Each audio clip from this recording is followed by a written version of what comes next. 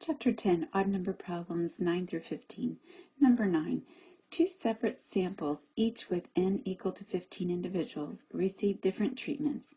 After treatment, the first sample has sum of squared deviations equal to 1,740, and the second has sum of squared deviations equal to 1,620.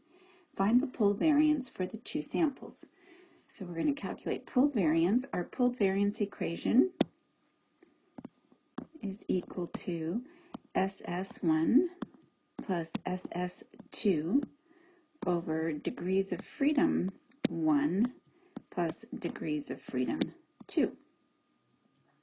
And since um, each sample is 15, so they're equal in size, degrees of freedom 1 would equal 15 minus 1, and that gives us 14. Degrees of freedom 2 15 minus 1, and we get 14.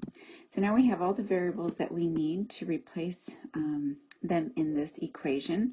So SS1, 1,740, plus SS2, 1,620, over degrees of freedom 1, 14, plus degrees of freedom 2, also 14.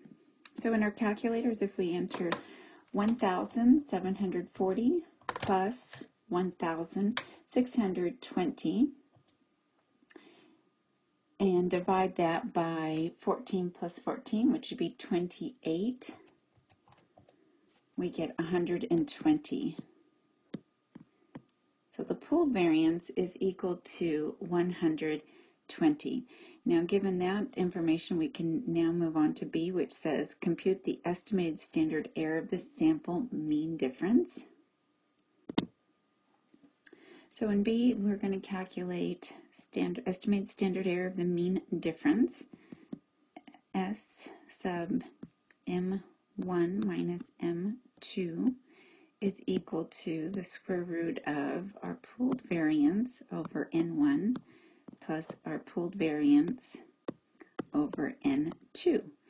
Let's replace variables. We have pooled variance equal to 120 n for our first sample is equal to 15.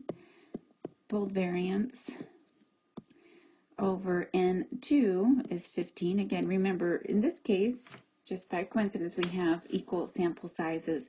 That isn't always the case, which is why it's necessary to calculate pooled variance. Um, let's see here, if we, we take these as separate fractions, um, I believe 120 in our calculator is 120 divided by 15 is equal to 8. So 8 plus 8. We'll move over here. Um, 8 plus 8 is 16, so we're looking for the square root of 16, and that's equal to 4. So we have our estimated standard error um, of the mean difference, and we have our pooled variance. And given those values, we can proceed to C, which says, let's go ahead and calculate our t statistic um, and draw our conclusions regarding the null. C says, if the sample mean difference is equal to 8 points, is this enough to reject the null hypothesis and conclude that there's a significant difference for a two-tailed test at the 0.05 level? So again, we're conducting a t-test for independent sample means. Initially, we were told two different samples were exposed to two different treatments, and now we want to determine if the difference between those samples is large enough for us to say um, that the difference is due to treatment and not simply due to sampling error or chance. So we're going to calculate our t statistic. Our t is equal to the mean difference for our samples minus the representation of the null hypothesis that says these populations are equal to one another. So the um, mu1 minus mu2, and then that's all over again our standard um, equation of estimated standard error, in this case of the mean difference. Okay, so let's replace what we have. Um, T is equal to, and they told us the mean difference, the sample, see here, um, it says sample mean difference is equal to 8 points. So they're not telling us what M1 or M2 um, are equal to. They're simply telling us what the difference is equal to. So they've already calculated that for us. So it's equal to 8. This here always represents the null. Comes from the null. And always equals 0 right? Because the null says these populations are equivalent to one another, so there um, is no difference between the two. So that's always equal to zero. And then we calculate our estimated standard error of the mean difference in the previous page, and that was equal to four. So now we have a t statistic equal to two. We're going to determine if that's statistically significant. To do so, we're going to need to figure out what our critical t is equal to. And to do so, we're going to need our degrees of freedom. So degrees of freedom, in this case, again, we're doubling everything because we have two separate independent samples. Um, it's degrees of freedom 1 plus degrees of freedom 2. And we had um, determined that on the previous page. Each sample was equal to 15. So degrees of freedom for both uh, was 14. So 14 plus 14 gives us 28. Uh, we're going to use a two-tailed test at alpha at 5% to find out what our critical t is equal to in our t distribution. Okay, we're in our t distribution. We have degrees of freedom equal to 28. Um, we're going to conduct a two-tailed test, so we're going to use this tier at 5%. And so we're just going to see where those two things intersect. Get a critical T equal to 2.048 plus or minus positive negative because of the two-tailed test. We're going to use that to draw our conclusion. Okay, so given what we just did, we con concluded that our critical T is equal to 2.048. And now we're going to use that to set our critical region. In the center is the mu um, 1 minus mu 2, and that's equal to 0, that there is no difference. If we took sample, excuse me, population average 1 minus population average 2, subtracted those, we'd get a difference of 0, meaning that they're equal to one another. We set our parameters at negative 2.048 and positive 2.048. So we've established our critical region. Okay, so if our t statistic falls here or here, we get to reject the null. If it falls in the other area, then we fail to reject the null. So let's see again where our t was. Our t was equal to 2, so given this number line, where would that fall? And it's just just shy of falling into the critical region, but it's not significant enough that the difference isn't large enough for us to conclude that the difference we saw of eight points was due to treatment. Um, so here again, I like to say we're, we're sad and we don't get to reject the null. So we fail. In this case, we would fail to reject the null. And also we would recognize that means the probability the probability of obtaining a t statistic equal to 2, given the mean difference between the samples, is greater than our alpha, greater than our alpha. And so again, that's um, indicating that the t was not large enough to fall in the critical region, and therefore we fail to reject the null hypothesis. All right, number 11, for each of the following, assume that the two samples are obtained from populations with the same mean. Again, that's indicating the um, null. So mu1 minus mu2 is equal to 0, or another way of uh, understanding is mu1 is equal to mu2. And calculate how much difference should be expected on average between the two sample means. So again, essentially they're just rewording our definition of our estimated standard error of the mean. You need to get used to them um, you know, being asked to calculate these statistics without them being as explicit as we're used to. So they're no longer always going to say calculate the estimated standard error, of the mean difference. They may just give you the definition. So you have to understand what the estimated standard error of the mean difference is equal to. It's the expected or average difference between the two sample means.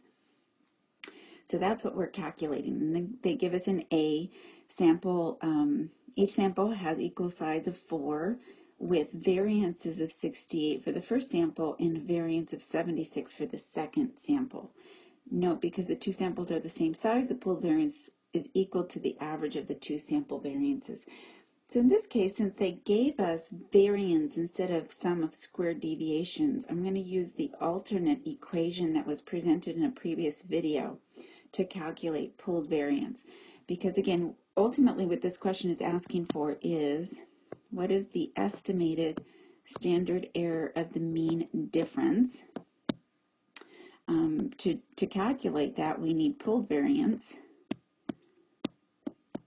We're going to need our pooled variance. So let's calculate pooled variance. So again, this is the alternate equation um, that was presented previously, and it's equal to degrees of freedom for our first distribution multiplied by variance for our first distribution, added to degrees of freedom for our second distribution multiplied by variance for our second distribution.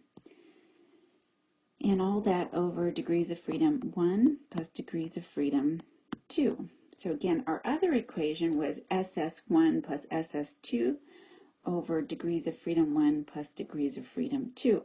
But since they gave us variance, right, then we should use the this equation um, instead. All right, so let's just replace variables. We know that n is equal to 4. Each sample is equal to 4 individuals. So degrees of freedom would equal 3. So degrees of freedom for our first sample, 3. Variance for our first sample, 68. Added to degrees of freedom for our second sample, also 3. Multiplied by the variance of our second distribution, which is 76. Over degrees of freedom, 1, which is 3, and degrees of freedom 2, which is also 3. So now we have everything we need to calculate our pooled variance. so 3 times 68 gives us 204. And then 3 times 76 gives us 228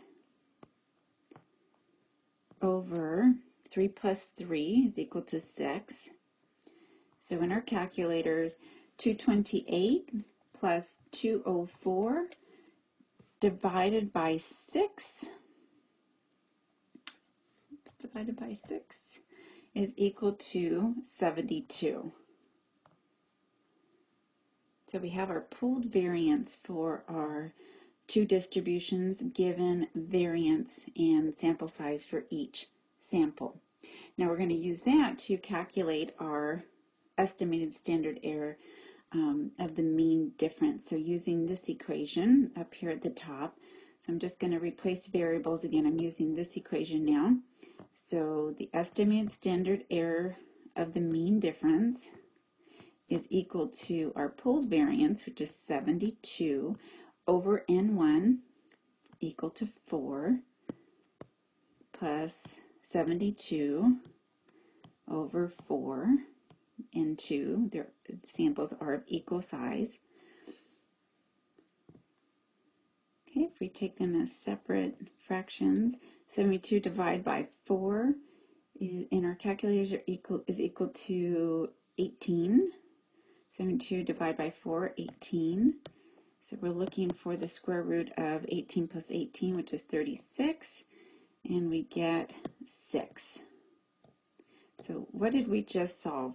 what we anticipate, if the null is true, again, the null states that mu1 is equal to mu2.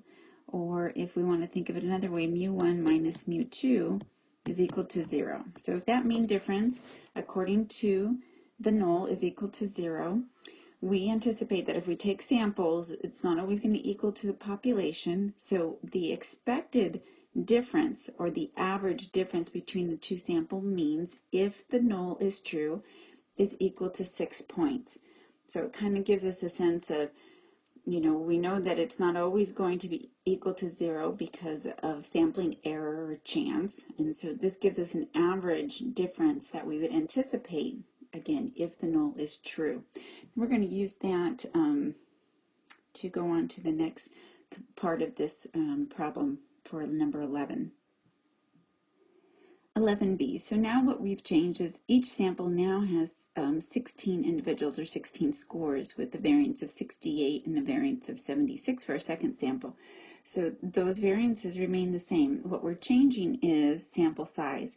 And again, we're going to calculate the estimated standard error of the mean difference and um, see if there's an effect having the, uh, having increased sample size from 4 to 16. So again, we're going to calculate ultimately the estimated standard error of the mean difference. But to do so, we need our pooled variance. So we're going to calculate that. So our pooled variance, again, um, using the equation that utilizes variance, our equation is degrees of freedom 1 multiplied by our variance of our first distribution added to the degrees of freedom 2 multiplied by the variance of our second distribution over degrees of freedom 1 plus degrees of freedom 2. All right, so we're going to replace variables. So we know that now that n is equal to 16, degrees of freedom will equal 15. So 15 multiplied by the variance of our first sample, which is 68, it's a given, um, added to degrees of freedom for our second distribution, which is also 15, multiplied by the variance of our second distribution, which is equal to 76, all over degrees of freedom 1, which is 15, and added to degrees of freedom 2, which is also 15. Okay, so now that we have this, we can do our calculation. So we'll carry it over here. So 15 multiplied by 68 is 1020. Added to 15 multiplied by 76 gives us 1140 over 15 plus 15 is 30.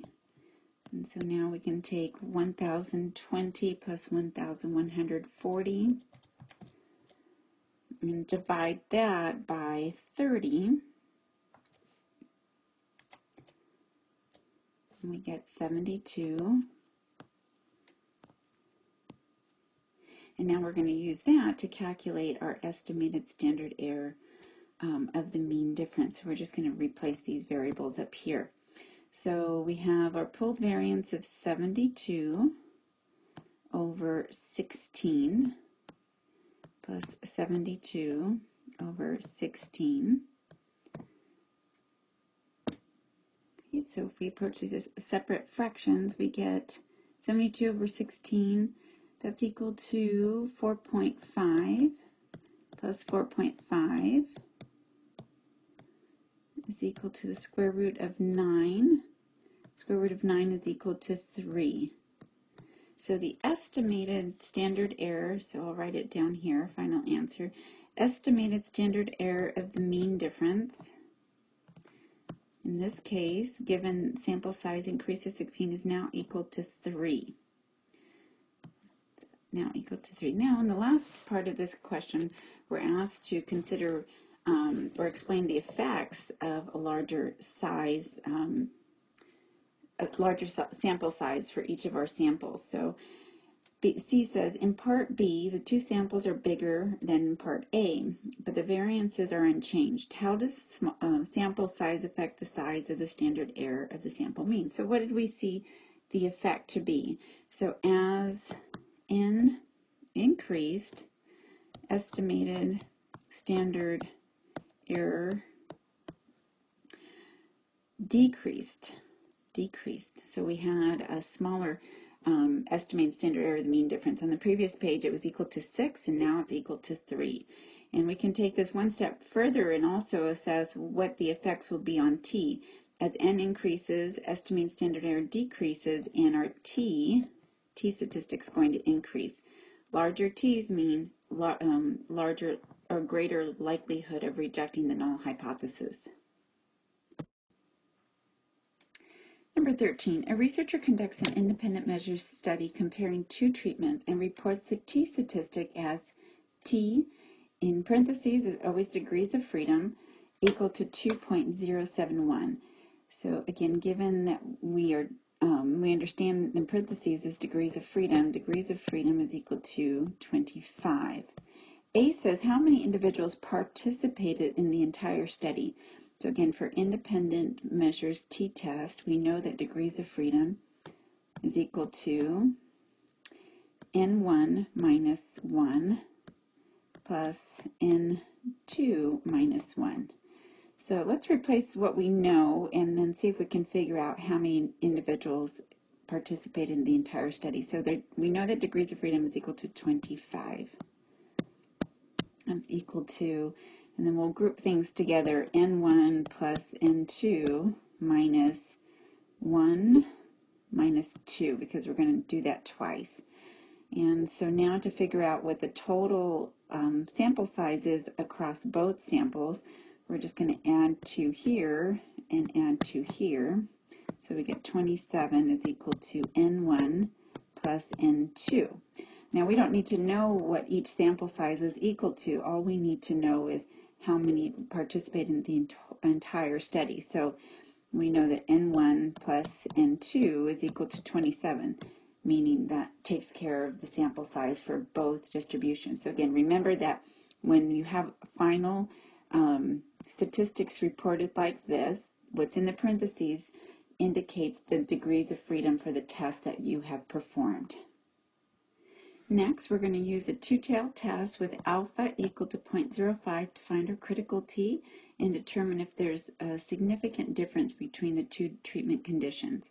So, for critical T, we're going to use our T distribution using degrees of freedom of 25, two-tailed test at alpha at 0.05. Okay, so our degrees of freedom, 25, we're going to use two-tailed test, that second tier at 0.05. And we're going to see where they meet up. we get critical T of 2, positive, negative, 2.060. So our critical T, given our T distribution is positive, negative, 2.060. All right, we're going to draw our distribution, set our critical region using the critical T. So we have negative 2.060 and positive 2.060. Again, we've just defined what the critical region looks like. We hope our t statistic falls in that region so we can reject the null. We'll make that determination in just a second. And again, we were given our um, t statistic up here at the top over here. We have our t value of 2.071. So where does that reside in our distribution given this, uh, again, the null is in the center and t is equal to zero, no difference between the two samples.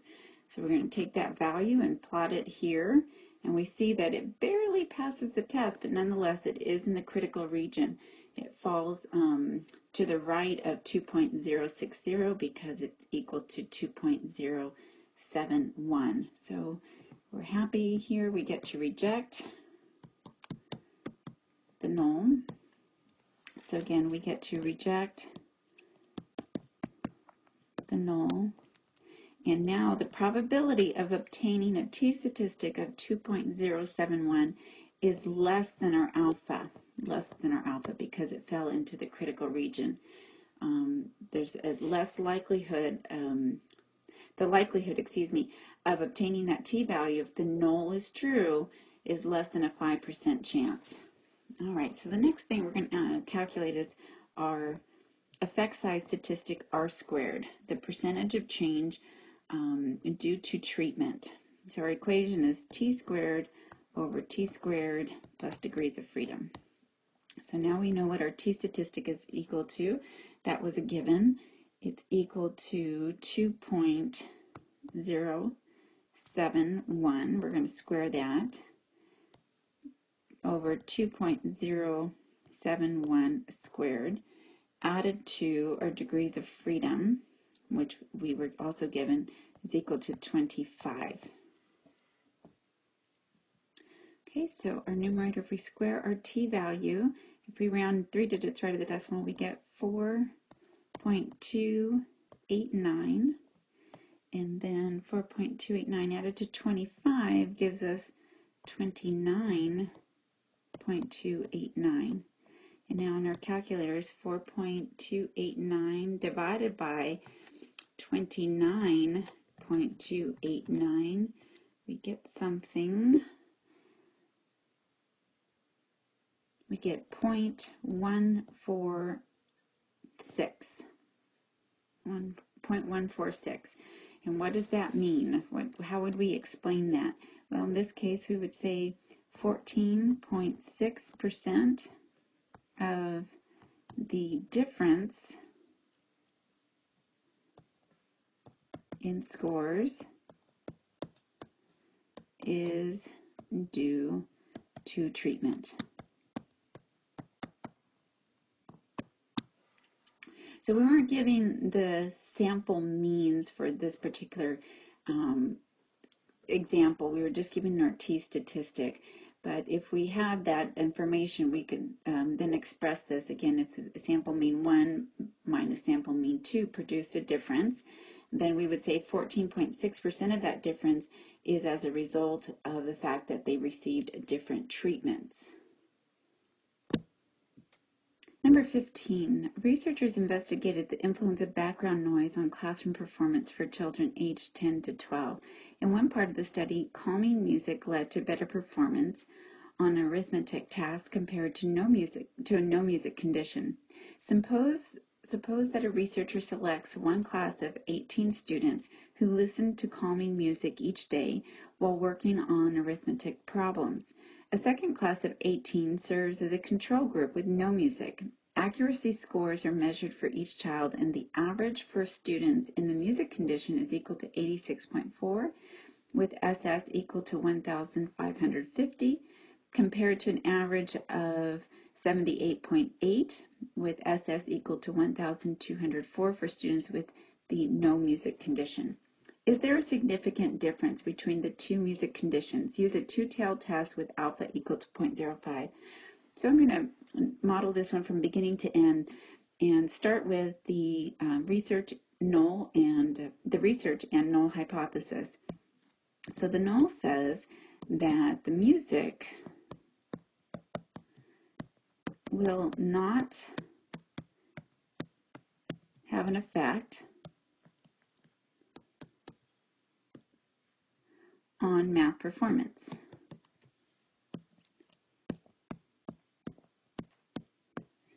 And the populations, right, so those who listen to the music, population one, is equal to the second population. Those, so those who listen to music, their performance is going to equal those who do not listen to music. So another way we can write this is if we take population 1 minus population 2, that difference will equal to 0. So again, denoting that they're equivalent to one another. The research hypothesis says that the music will have an effect on math performance.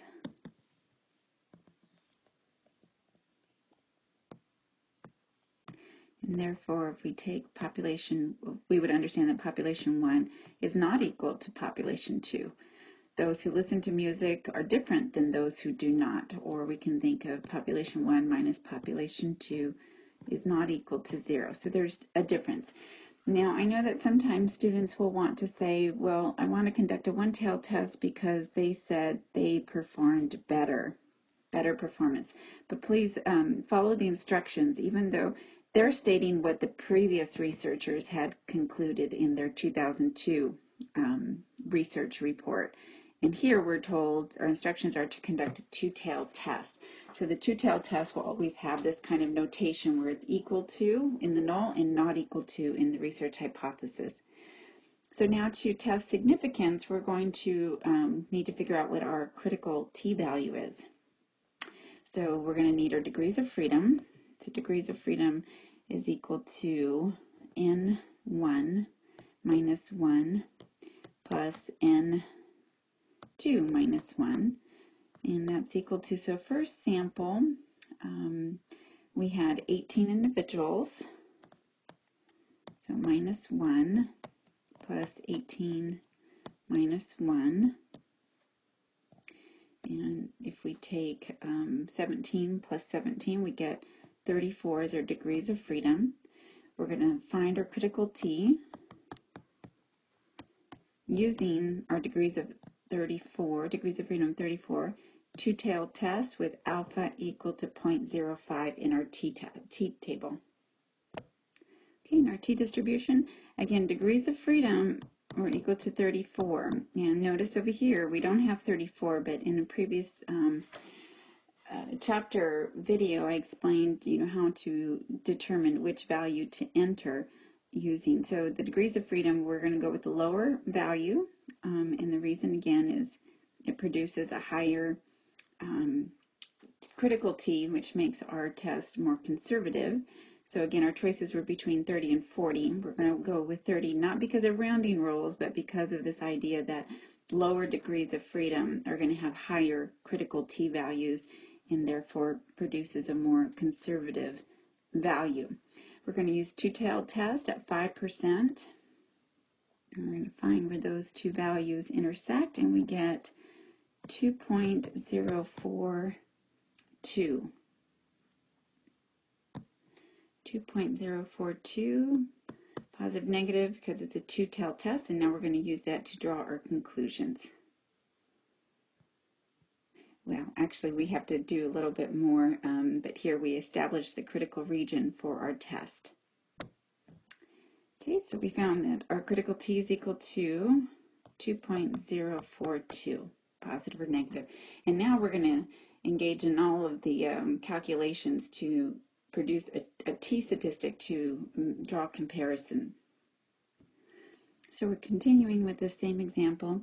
Um, now what we need to do is calculate our t statistics. So t is equal to the sample mean difference minus the population mean difference, again that's coming from the null, always equal to zero, over estimated standard error of the mean difference. And let's go ahead and replace the values that we know. We know that the sample mean um, first sample mean was 86.4. Again, those were givens on the previous page from our um, um, problem, minus 78.8. So 86.4 was generated from those who listened to the music, 78.8 generated from those who did not listen to the music, and this is always represent, uh, representative of the null. It's equal to zero. And so what we notice, what we don't have is estimated standard error of the mean difference, which we will calculate in just a second. Over here, I'm going to set my parameters given the t statistic, the critical t that we um, just found in our t table. So we have a critical t set at negative 2.042 and positive 2.042.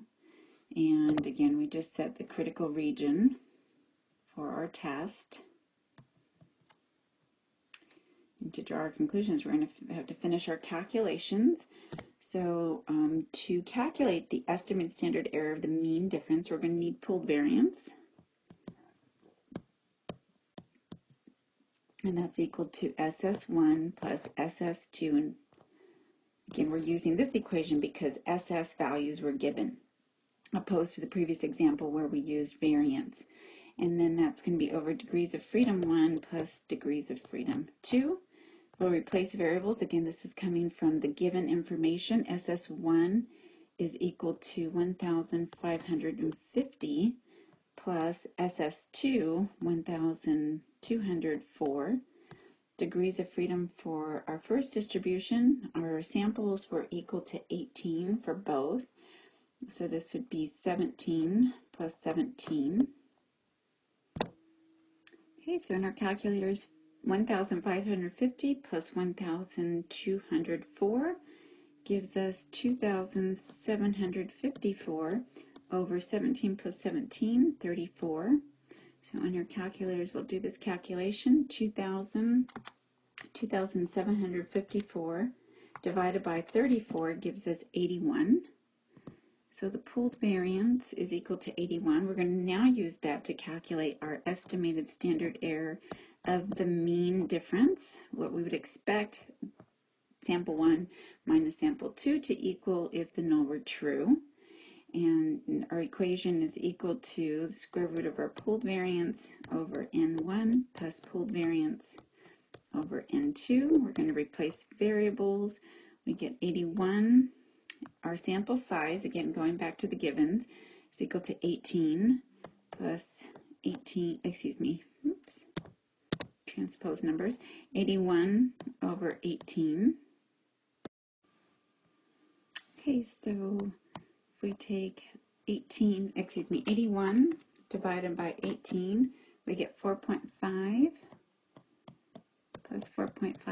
I understand that these have the common denominators and we could simply add the numerators and divide by the addition of the denominators. I refrain from doing that simply because our um, sample sizes aren't always going to be equal. So I, I try to approach them as different fractions separate from each other. Um, but you could obviously do it in the other manner if, if indeed you do have a common denominator.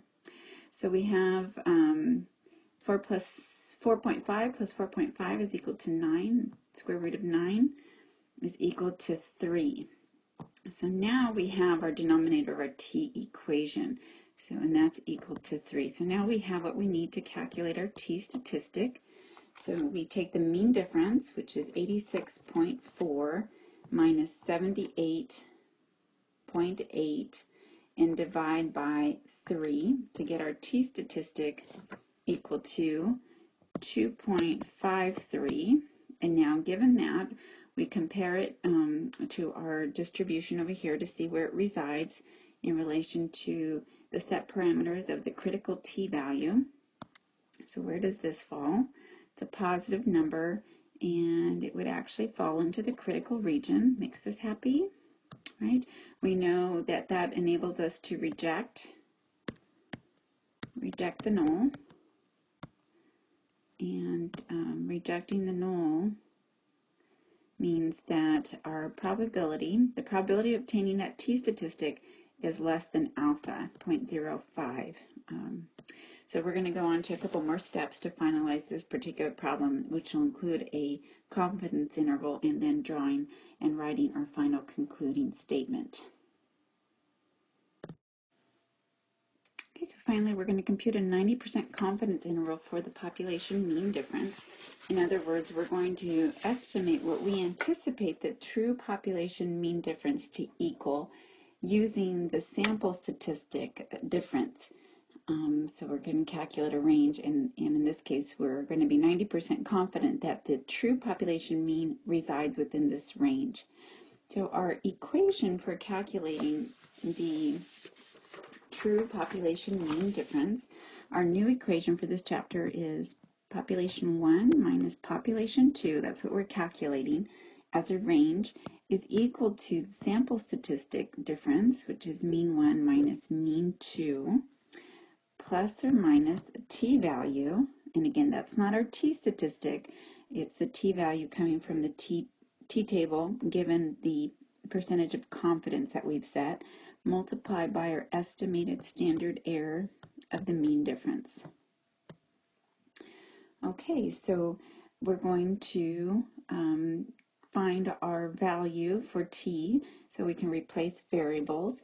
Um, and again, let's first identify what we know. So let's go back to what M1 minus M2 is equal to. So our those who listened to the music earned 86.4 on the assessment, and those who didn't earned 78.8. So if we do that um, calculation, we'll get the mean difference for our sample, so 86.4, um, which we already did in the previous page, but nonetheless, minus 78.8, and we get 7.6. All right, so um, now we can replace some of these variables. So the range of our true population mean difference is equal to 7.6 plus or minus our t-value, which we'll find in just a second, multiplied by our estimated standard error of the mean difference, and we had calculated that to equal 3. All right, so to find our t-value in this equation, it's based on the percentage of confidence. So again, we're talking about calculating a range where 90% of the sample mean differences will reside. What's left over is 10%. So we're going to take that 10%, divide by 100, and get a proportion 0.1000. Um, and we're going to use that in addition to our degrees of freedom. So let's recall what our degrees of freedom for this particular example was equal to. Each sample was 18. So 18 minus 1 was 17. And for both, so degrees of freedom was 34. We established that already in the previous process. So we have degrees of freedom equal to 34. We're going to use um, the two-tailed process given that we are calculating a range of values. Again, we want to find a value here and a value here. Um, so it's a two-tailed process, and we're going to use 0.1 as the alpha level to find that t-value. Okay, so just to point out, our original hypothesis was a two-tailed test at alpha at 5%, but now we're conducting a confidence interval at 90%. So again, we're going to use the two-tailed tier because we're calculating val value um, above and below the sample statistic mean difference. And the difference between 90% and 100 is 10%, a proportion of 0.1. And our degrees of freedom, again, we're 34, but we our rule of thumb is to use the lesser degree of freedom when we have gaps. And now we're just going to find where those two values intersect, and we get 1.1.9 six seven, 1.697. So we're going to use that in our, our, in our equation. So again, what we just found, our t-value for that equation um, is 1.697. I'll just set this aside. And I'm going to go and erase this here so that I can replace that value now that I know what it is. So 1.697 multiplied by 3. Again, the positive negative is already taken care of here. So we're, we are, um, we don't have to include it again. And the positive negative ensures that we're, we're computing a value above and below the sample statistic um, value. So I'm going to draw this over here to show you, to illustrate what we are calculating. And I'm going to erase some of this to give us a little bit more room.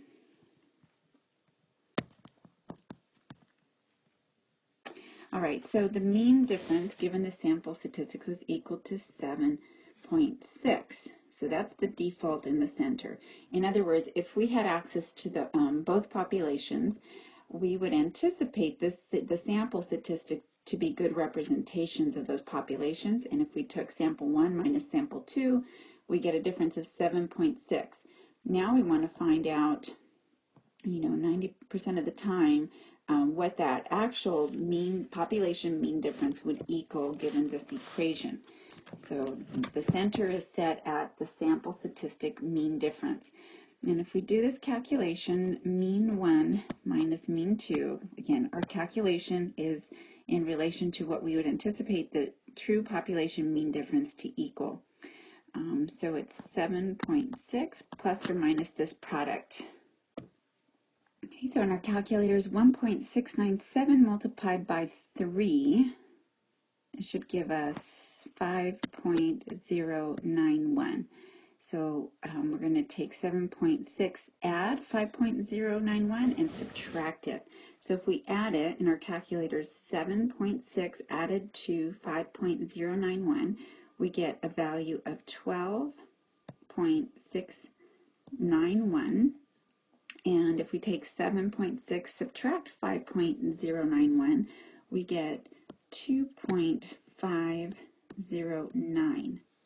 And what we've just calculated is that we are now stating that we're 90% confident that if we had uh, the ability to assess um, both populations, those who listen to music while conduct uh, while performing the math um, calculations versus those who do not listen to music, the mean difference between those two populations would fall within this range of values, um, 2.509 to 12.691 again, you should ask yourself, does it include the null? The null said that the mu difference would equal zero. And luckily, within this range, we do not see zero. Zero would be, if this is a number line, zero would be over here somewhere. And that's not included in this um, calculation. So again, it gives us good reason to feel confident about rejecting the null hypothesis that if we again had access to both populations and able to expose them to this treatment, we would see that the population mean difference would reside within this range of 2.5 to 12.7 approximately. And again, we use the base, the center of that calculation, the basis of that, that calculation as the mean statistic um, or the mean difference that we obtain from our sample one and sample two. So everything looks really great in terms of our confidence interval. Another way we can think of this is that if we were to take um, a sample, um, sample one, those who listen to music, minus sample two, those who don't listen to music, 90% of the time that mean difference would fall within 2.5 to 12.7. And then finally, we can write our final concluding statement. So we do know that we were able to reject the null. The null said that they would perform equally well on this math assessment if they listened to music or did not. And our results indicated that, that we could reject that idea. Um, results indicate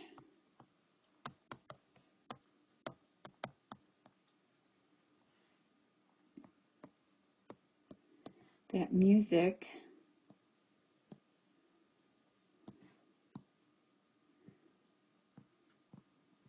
had an effect on math performance.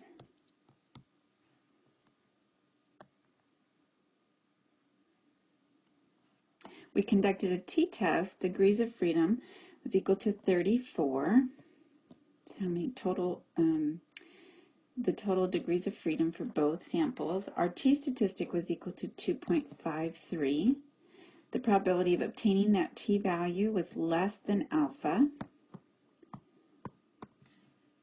And we calculated 90% confidence interval, which was equal to, confidence interval equal to 2.509 through 12.691, close the brackets, and period. And so now we've illustrated um, we've performed the entire hypothesis test and um, written our final concluding statement, which includes the statistics that are important for someone who's consuming our research and they can understand what type of test we performed, the significance of the results that we um, obtained, and then followed with a confidence interval giving us a sense of where the true population mean actually resides. Although this problem didn't ask for it, I'm going to go ahead and calculate um, estimated D and R squared as additional um, measures of effect, just so you can see one problem where we um, utilize all the new equations. So our estimated D for this um, chapter is equal to the sample 1 minus sample 2 difference over the square root of our pooled variance. If we take the square root of a, a, variance, that's the standard deviation. So again, similar to our equation from the previous two chapters. So the mean difference, um, again, calculated given our sample average 1, 86.4, those who listen to music minus the average of those who didn't listen to music. And then our pooled variance, again, these are all values that we calculated previously. Our pooled value, um, variance was equal to 81. So this is 7.6 over 9, and we get 0.84. And again, what does that tell us? Well, what we're saying is that the null says mu1 minus mu2 is equal to 0 here in the center.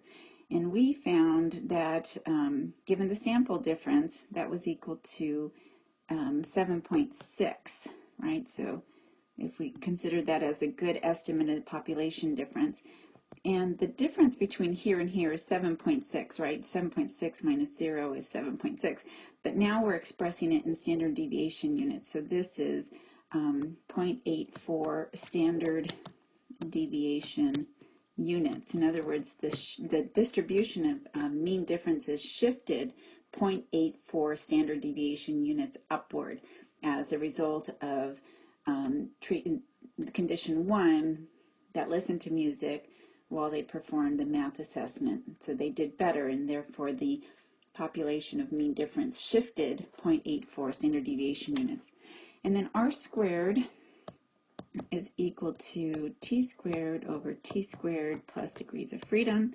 We have our t statistic of 2.53. We're going to square that over 2.53 squared plus our degrees of freedom was 34. So we get um, 2.53 squared approximately equal to 6.4. 6.4 plus 34 gives us 40.4. And if we do that calculation, we get something close to 0.158. If we round, let's say 0.16, um, so we're saying that 16% of the difference in scores, right? Those who, who listened to the music scored this. Those who didn't listen um, to music scored an average of 78.8. So 16% of the difference in scores is due to the treatment, meaning that um, those who listen to music, um, the reason they saw an increase in scores is because they listened to the music while they were conducting um, or completing the math assessment. So just wanted to include those. Um, again, this would be high, very high effect right, as well as this high effect. And we feel, again, using those gives us a sense of, of uh, assurance that we accurately rejected the null hypothesis in this test.